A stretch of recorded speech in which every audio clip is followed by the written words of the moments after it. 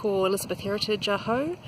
Uh, I'm here to substantiate the claims I made on Twitter that I was going to come and get to the real truth of Bird of the Year. Um, so I'm here at Te Māra a Tāne, also known as Zealandia of course. Uh, I did ask Zealandia to line up some spokesbirds for me, but they uh, they didn't. So I'm just going to wander around, see who I can find, you know, interview them. Um, I am very based in truths and facts and evidence and other other sciencey journalistic type things. And one of the things that I need to do is acknowledge my bias.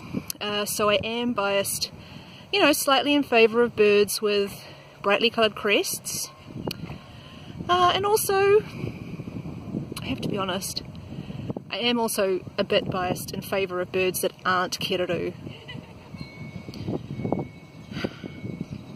we'll get on to that. Okay let's go